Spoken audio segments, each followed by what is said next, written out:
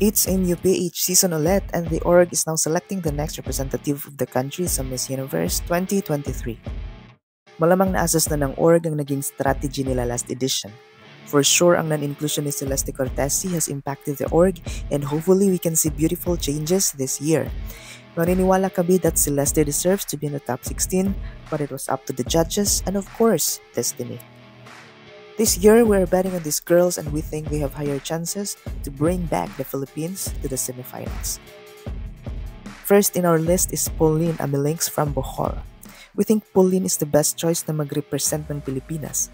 She is a strong communicator, very eloquent, and for sure hindi magkakaproblema sa interviews.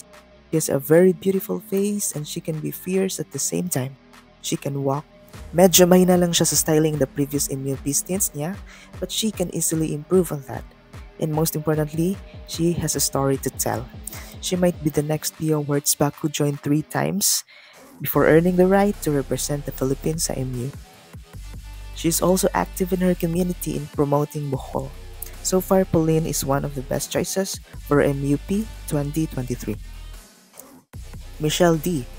Like Pauline, Michelle is also a good communicator. When it comes to styling and pasarela, Michelle has proven herself to be great in this area. She represented the Philippines before in Miss World 2019, where she finished as part of the top 12.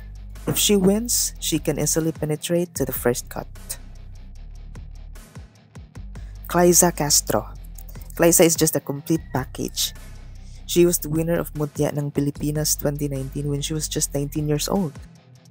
This beauty has an excellent communication skills, ang galing ng pasarela, at malakas ang dating. Klyza has grown up joining public speaking contests and for sure, hindi siya mahihirapan sa interviews. And most importantly, ang ganda ng advocacy niya and that is for the livelihood of indigenous community. This pure Filipina can win. Samantha Panlilio.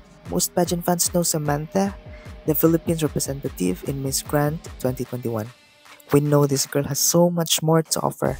Communication skills, check. Uh, hindi tayo magkakaproblema. Styling, we have seen it during her Miss Grand stint. Placado. Pasarela naman, uh, she's good, but we want her to do more. But she can do it. Samantha is a hard worker, plus ang ganda ng advocacy, which is sustainable agriculture. And we have Krishna Gravidez. She is the winner of Miss Baguio 2022. MUP should watch out for this girl. Ang galing ng communication skills, may advocacy, at higit sa lahat, performer talaga sa stage. Her walk is killer, and she is super beautiful.